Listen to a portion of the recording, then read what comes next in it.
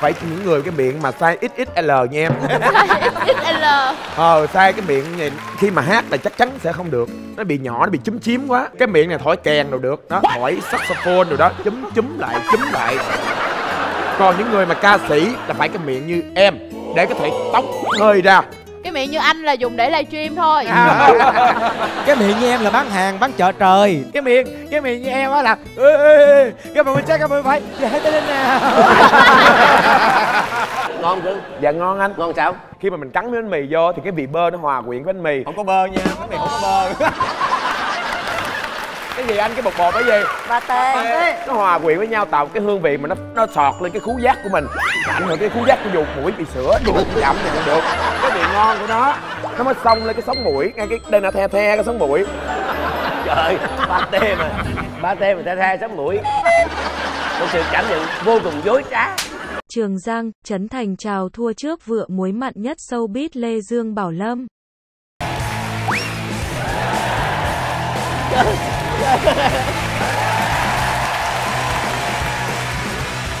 ơi các bạn bên trái ơi! Các bạn bên phải ơi!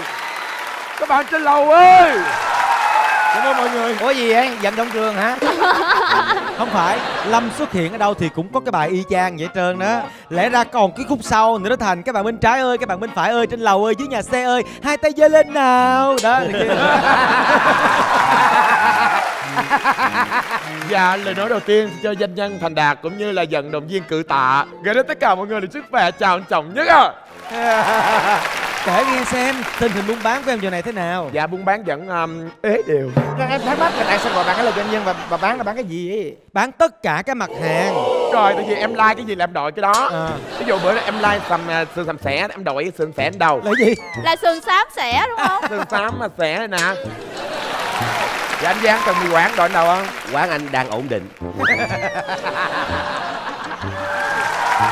giờ tụi nó duyên quá rồi bây giờ giải trí. bây giờ chọn ai bây giờ hai đứa đều, đều duyên giờ sao vậy Chọn em đi anh. Ngoài nhan sắc và em có cái giọng hát của mình nữa. ca một bài liền Và đây là bài hát mà do một fan hâm mộ viết tặng riêng cho em. xuất sắc Và em xin trình bày ca khúc được mang tên Anh Dương Lâm Đồng Nai Quê hương Đồng Nai chào đón một người con rất hài Diễn hài không vui nên về đây đi băng lại chim. Em ơi nói nghe nè không có khán giả nào mà sáng tác một cái bài mà nó kỳ Ông cục với trọi đó á em tự sáng tác em viết về em em nói đại đi em ơi. Em vô điệp khúc. Anh Dương Lâm Đồng Nai đã chinh phục ước mơ đời mình. Anh Dương Lâm Đồng Nai đã cho đời càng thêm sương vui. Chàng trai này nhà ở làng bên Ba má nó sớm hôm tảo tần. Mà giờ đây Dương Lâm thật đẹp trai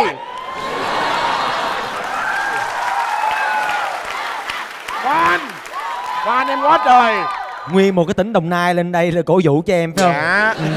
Em ở cách nhà dương lâm à, 9 phút đồng hồ. Dạ. Bây giờ không dám về đó ở nữa. Mỗi lần về phải đi ngang qua để kể cho nghe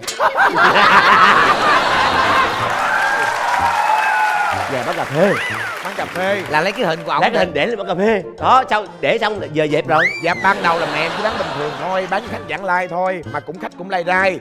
Đó từ ngày cái em đăng quang này nọ Cái mới trội Con tôi trội Trội dữ trội Rồi, cái- rồi cái rửa nguyên tấm hình chà bá lửa anh. Quán Bảo Lâm kính mời nè. Mà đứng vậy luôn á hả? Đúng đúng Ờ, luôn nè hay quá ha giống như cây đèn thần. Cầm ngay vô? Hồi xưa đó người ta còn biết là khách vãng lai ở lâu lâu ta không biết nhà ai ta ghé đúng không? Nhiều khi nhìn đứng cái tướng này ghét không vô. Mà bình thường là mẹ bán nước mía nữa Mà nghệ sĩ người ta kỵ kỵ nước mía. Đúng rồi. Đó là từ khi mà mở mở nước mía là em không có xô luôn anh Thành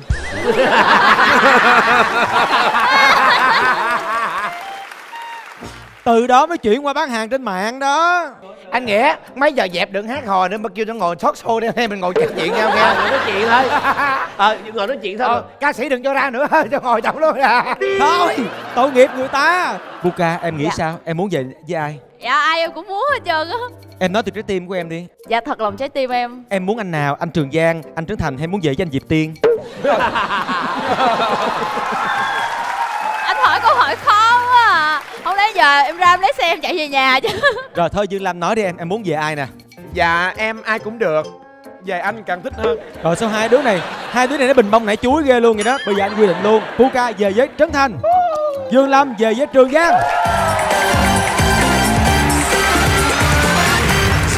em thì em nghĩ anh này không phải là dancer mà anh ta chắc chắn là sửa thờ sửa điện thoại. Sao mà cầm cái điện thoại vô nghĩa mà cầm hoài như vậy? Ừ Không. lâm ơi ừ, nhà tài trợ đó lâm. Em ơi từ nay về sau em không còn có mặt trong chương trình này nữa em, em nhé xin lỗi xin mời chương trình cắt khúc này giùm em. Xin mời chương trình Lam à Lam Trên đời này không có gì là vô nghĩa em nhé dạ dạ. Chẳng hạn như việc livestream cũng không bao giờ là vô nghĩa cả. Với lại khi mà em thấy anh nhảy đó thì cái mặt của anh lúc nào cũng vậy nè. Rất là thần thái. Em phát hiện là anh trồng năng sứ mà thường thường những người trồng năng sứ không bao giờ hát hay như em với ca thật sự luôn. Để em nghĩ anh này là hát dở tại vì khi mà làm năng sứ đó Thôi, thì thôi. cái tiếng lưỡi của mình. Khoan em chưa nói xong. Đừng nói đăng sứ nữa. Hai ham gì tự nhiên mọi người tém tém môi lại hết. Em nghĩ là anh này không hát hay bởi vì răng sứ nó làm ảnh hưởng lắm. Nó ảnh hưởng tới thần kinh. Nữa khi trồng răng sứ người ta rút tủy em phải không? Có. Cho nên nó ảnh hưởng tới thần kinh. Ủa cái đó phải rút kỹ hả? Có rút tủy mới làm được anh. Anh chỉ nghĩ là nó bào cho nó đắp sứ vô thôi chứ. Dạ em là bị rút nên thần kinh em nó bị ấy. Bảo Lâm ý kiến của em nào? Không em nghĩ chị hát cũng được đâu. Mặt chị hát kỳ quá. Bà đi mà đọc rap á. Em thấy cái khẩu hình bà đi đọc rap á. Quá quá quá mưa. Thấy vậy là rõ ràng. Em nghĩ là bà này hát cũng được. Bà này chắc livestream chung với thằng là Bảo Lâm Cái miệng mà nói cũng cái lặng cái lậu chứ không phải là ca ca đâu. Đúng là cái hình trên clip là cái khuôn mặt đó không phải là khuôn mặt đang hát. Đúng rồi. Khuôn mặt nó đang trả bài cho cái ông quay phim. Bắt đầu. Em đi có non đi em đi chơi có non đi. Hai ba. Em đi trên con non gặp ôm đôi bờ chiều mưa. Đó Thôi dạng dạng vậy Ờ, phải những người cái miệng mà sai XXL nha em. XL ờ sai cái miệng này khi mà hát là chắc chắn sẽ không được. Nó bị nhỏ nó bị chúm chím quá. Cái miệng này thổi kèn đâu được đó thổi saxophone rồi đó chúm chúm lại chúm lại. Còn những người mà ca sĩ là phải cái miệng như em để có thể tóc hơi ra Cái miệng như anh là dùng để livestream thôi. Cái miệng như em là bán hàng bán chợ trời. Cái miệng Cái miệng như em á là ê, ê, ê, Các bạn mình chắc các bạn phải Dạ tới lên nào. Trời con bé nó hiền quá dễ thương quá mà nổi làm nào loại người ta? Học năm hai hả em? Em học năm hai hả? Dạ không em năm cuối rồi. Năm cuối rồi là em đã có sắp tới có công việc gì chưa hay là sao? Dự định gì chưa Dạ em dự định sẽ đi học tiếp ạ. Rồi mình làm gì để mình có thu nhập đi học? Dạ em ờ, hiện tại em cũng có đi hát ở các tụ điểm cũng như là nhà hàng ạ. À cũng đi hát để mình mình vừa đam mê thỏa mãn mà vừa kiếm tiền. Rồi đến với chương trình này cũng hy vọng là được, được bước vào vòng 3 để có 10 triệu đồng. Nhưng đã có những người dập tắt ước mơ đó của em. Ai vậy? Ai mà kỳ cục gì? Anh Thành đó. Trời ơi Anh ơi thì có nó thúi em xong bây giờ nó nói em Em không ngờ em của em nói vậy luôn. Thôi mơ gia đình em xào xáo quá giờ đổ thừa qua lại làm gì? Nhuộm tóc nhuộm luôn não rồi thiệt. Còn một cánh cửa khác cho em nha. Qua nhờ anh lâm livestream giới thiệu em. Mọi người ơi chia sẻ livestream chia sẻ livestream mọi người ơi. Hát hay lắm mọi người ơi. Nó bị anh Trấn Thành loại rồi mọi người ơi. Cảm ơn em đã đến với chương trình ngày hôm nay nha. Chào tạm biệt em. Trời bye. ơi em Chào em chị lát cho em xin miếng nha chị rồi em thua chị bây giờ mình dùng món nào trước chị À, bây giờ thì mình sẽ đi từ à, Bắc vào Nam Dạ. nha. Đầu tiên thì mình sẽ dùng là bánh mì Hải Phòng. Không là cái này nè Đúng rồi. đây bây giờ mình sẽ ăn cái này trước gì hả Rồi bây giờ chị sẽ lấy cái thớt. chị mới chọi gì với người em chị em thích em hả rồi mình sẽ cắt là mỗi người một phần ha trước khi ăn là mình phải chải cái này phải không anh thì mấy đứa muốn làm gì làm đừng ăn được. Chạy đó để chạy nhiều nước miếng nó xuống nó sẽ đỡ, đỡ dơ áo đó. Yeah. Yeah. Quá tuyệt vời. Chà ảnh kẻ tới 6 cái lần. Rồi đây. Lady first Cần chân như ta cho em nè người phụ nữ thứ hai. Anh sao em giang anh chị Em xin phần còn lại với anh. Đây, chúng ta thấy không? Bánh mì là có pate và tương ớt. Mình vô đi, mình vô đi, rất mình là vô đi, ngon luôn vô. thật sự vô Ôi ôi cái bà tên nó thơm. Nó giòn, nó thơm, nó béo. Nó ngậy rất là hợp lý. Như vậy thôi mà đã rất là ngon rồi đó. Em không nghĩ là như vậy. Em em muốn ngửi đúng không mơ mộng đi cưng Ừm, không cái, ngon lắm luôn á. Thôi cái mặt nó ngon lắm luôn mà đâu có thấy ngon gì đâu Phải không có thể hiện được. Em nghĩ thôi. Ngửi thử thơm lắm nè xương ngửi thử đi ngửi thử. Thôi không được gì vậy? Gì vậy? Nào người ta cho mình thấy ăn chứ đừng có ăn bộ ả vậy hiểu không? Để anh xin cho em ăn. Mọi người ơi. Mọi người có thể cho em xin một miếng bánh mì. Đây chị có tôn giả thì em nuốt cái trứng để em nuốt lắm. Ngon cưng dạ ngon anh. Ngon sao? Khi mà mình cắn miếng bánh mì vô thì cái vị bơ nó hòa quyện với bánh mì. Không có bơ nha bánh mì không có bơ. Cái gì anh? Cái bột bột cái gì? Ba tê. Nó hòa quyện với nhau tạo cái hương vị mà nó nó sọt lên cái khứu giác của mình. Ảnh hưởng cái khứu giác của dù mũi bị sữa được chậm thì cũng được. Cái vị ngon của nó nó mới xông lên cái sống mũi ngay cái đây là the the cái sống mũi. Trời ba tê mà. Ba tê mà ta tha sống mũi. Một sự cảm nhận vô cùng dối trá chúng ta được ăn rồi mấy đứa ơi. Bây giờ mình ăn cái gì này ta? ở nhà ăn hoài.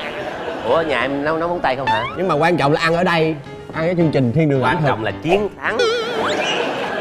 Bây giờ mình ăn món gì trước? Mình sẽ ăn à, cái món à, bánh mì kebab trước nha. Ờ, hình như họ biết trước hay sao? Họ làm có bốn cuốn rồi. Ngại quá. Kiểu vừa đủ không? Mặt anh mặt anh lâm sao vậy anh lâm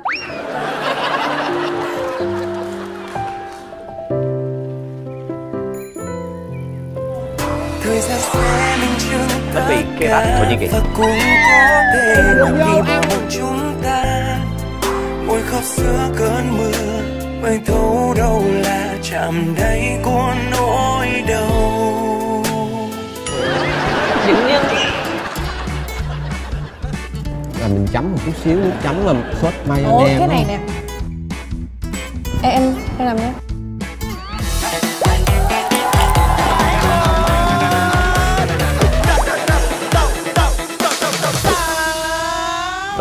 Sam ha nó chiến thắng mà sao vẫn rụt rè à, hồi nãy mình được ông hoàng cắt cho mình ăn á ha Ôi, ôi mình tự lấy mình tự lấy đi kìa nãy giờ miếng không Ờ, à thơm cái có rau nó giòn ở bên tây á người ta có thể sử dụng bánh mì mỗi ngày thậm chí cả tuần người ta ăn bánh mì anh ăn đi anh nói chi vậy ai kêu anh nói đâu tại vì bên tây á người ta cũng biết ăn cơm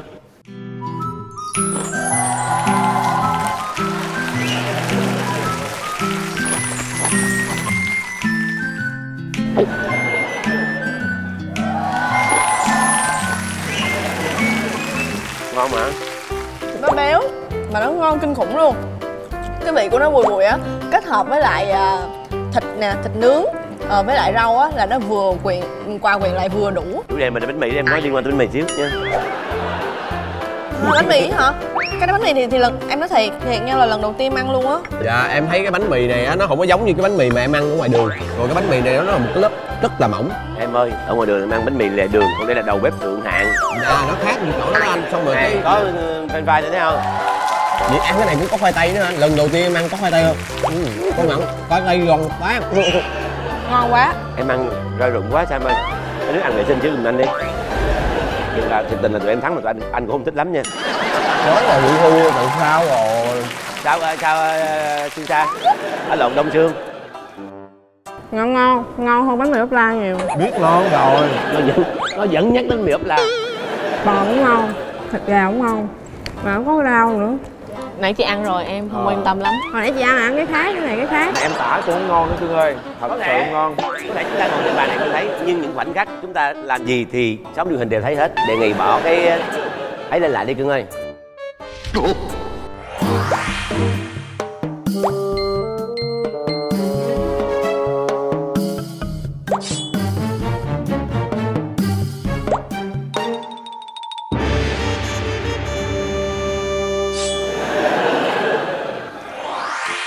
ơi, ở đây người ta chuẩn bị bốn cái hamburger cho ông Hoàng Hạnh Phúc với lại ba người chơi mà tự nhiên bên kia không biết ai nữa. Chắc anh Năm quá à, anh Năm. rồi cái hoa để chân nè cái ý đồ tao chân cái hoa em là một nghệ sĩ hài đang trên đường thôi được anh ơi Ông đem được nghệ sĩ mình ra em. Em có lấy cái gì đâu trời. Trời đưa vô cái chén. Cái móng tay của người ta có đưa vô cái chén kìa. Bỏ vô cái chén lộn luôn rồi. Ai dám ăn? Ừ, chưa biết gì hết. Ừ, lúc nào cũng vậy thử cái. Ừ. mà không nói được câu nào? Ôi lên món nữa kìa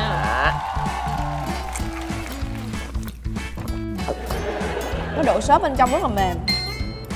Cực kỳ thơm luôn. Không em mời mọi người ăn thử món này thật sự. Trời ơi người ta mới có cái lòng tự trọng với em mà ăn mà thua mà ăn em. Không anh ăn ăn. Em tự trọng ăn gì? Tự trọng tự ái gì bỏ hết nha. Dương lâm. Dạ. Em là một nghệ sĩ hài kệ anh nói nghệ sĩ thì em vẫn ăn bạn mời thì em sẽ ăn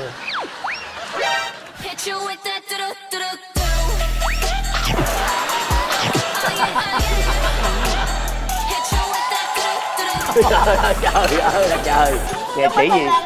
ngon quá mấy mầm ngon